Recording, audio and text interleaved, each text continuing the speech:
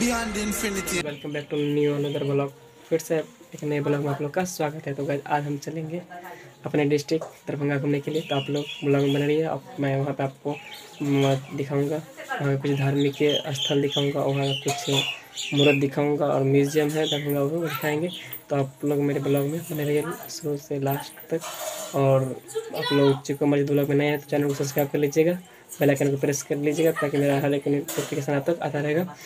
और like share ठोक दीजिएगा दबा करके। और भाई को तुरंत मिलियन लाख पे पहुँचा दीजिए। भाई को इस तरह प्यारा सपोर्ट दीजिए कि चलिए, बिना देरी के हम आप लोग को लेके चलते हैं और मेरा फ्रेंड आ रहा है, उसके साथ चलेंगे। तो आप लोग ब्लॉग में रहिए लास्ट तक। गाइज़ आप लोग ब्लॉग को छोड़ के नहीं जाइएगा और इस ब्लॉग में काफ़ी इंटरेस्ट और मज़ा आएगा तो आप लोग ब्लॉग में बने रहिएगा। और चलिए, आप लोग ले चलते हैं। और तो ब्लॉग में लास्ट तक बने रहिए आप लोग। तो चलिए गए चलते हैं और मेरा दोस्त आ गया उसके साथ चलते हैं।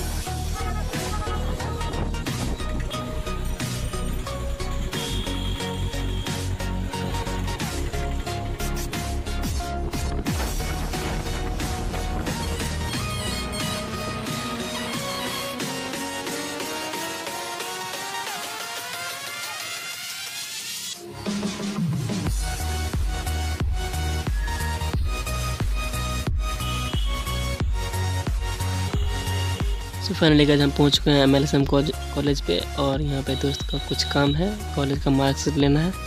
तो वो इधर से तो लगता है कि गेट बंद है और हमको लगता है उस साइड से जाना अभी हम आ चुके हैं चलते हैं। M L S M college gate के यहाँ पे कुछ काम है मार्कशीट लेना है। तो ये काफ़ी अच्छा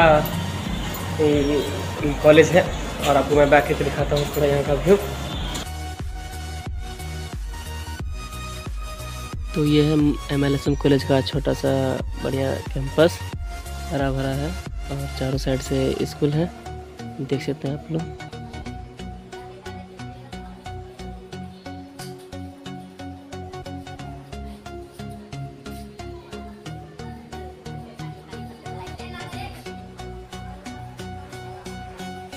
फ़िलहाल हम लोग आ चुके हैं। कॉलेज पे कॉलेज का काम हो चुका है और अभी चलते हैं म्यूज़ियम। तो आप लोग को लोग बने तो जैसे कि जाने लगे तो यहाँ पे गुमती गिर चुका है और ट्रेन आ गई है। तो अभी रुके हुए हम लोग और अभी निकलते हैं आगे। फाइनली गैस हम म्यूज़ियम के अंदर इंटर कर चुके हैं और आगे आपको दिखाते हैं इसका प्यारा सा व्यू और नज़ारा यहाँ का अभी हम आ चुके हैं म्यूज़ियम के मेन गेट में और यहाँ से हम लोग म्यूज़ियम के अंदर जाएँगे। तो इसमें तो म्यूज़ियम और इसमें वीडियो बनाना वर्जित है वीडियो नहीं बना सकते हैं। चलिए आपको बाहरी नज़ारा दिखाते हैं म्यूज़ियम का। ये है चंद्रधारी संग्रहालय म्यूज़ियम का बाहरी नज़ारा।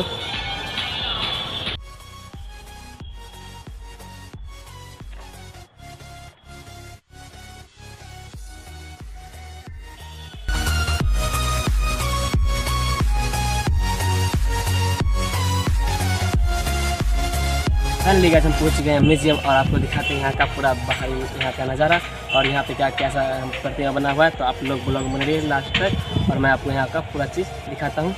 ब्लॉग को आप छोड़ के नहीं जाइएगा। चलिए दिखा मेरे पीछे दिख रहे हैं आपको ये है मिथिला के प्रथम शासक राजा। नया देव अपने राज दरबार में आए चित्र कर रहे थे। ये है और इधर मैं आपको पूरा दिखाता हूँ एक एक करके। तो आप लोग ब्लॉग में बने रहिए लास्ट तक। ये जो दिख रहे हैं आपको ये है राजा। कामेश्वर ठाकुर जी, जो कि दरभंगा के प्रसिद्ध हैं। और इधर आपको दिख रहे होंगे राजा जनक जी, जो कि हल जोतते समय जो सीता माता का जब ये हुआ था तो तभी का ये सीन है बैल के साथ राजा जनक जी। और उसके गुरु हैं, ये देखिए यहाँ से।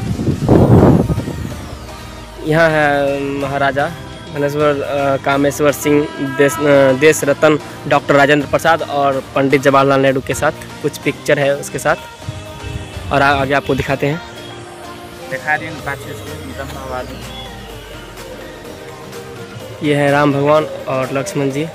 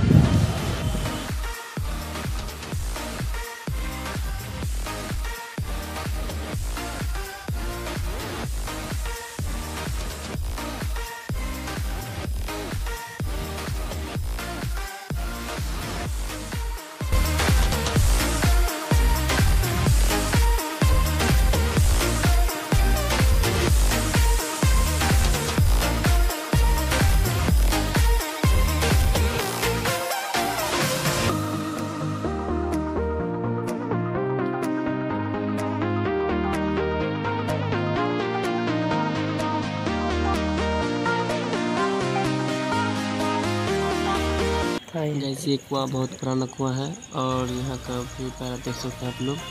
और ये कुछ सामा चकेवा का दृश्य है जो पहले लोग खेलते थे। और मैं आपको यहाँ का पूरा प्यारा सा व्यू दिखाता हूँ। देख सकते हैं यहाँ का कितना प्यारा व्यू है। आप लोग को ये जगह कैसा लगा आप लोग कमेंट में ज़रूर बताइएगा। और ये म्यूज़ियम का कुछ ऐसी बाहर नज़ारा है। देख सकते हैं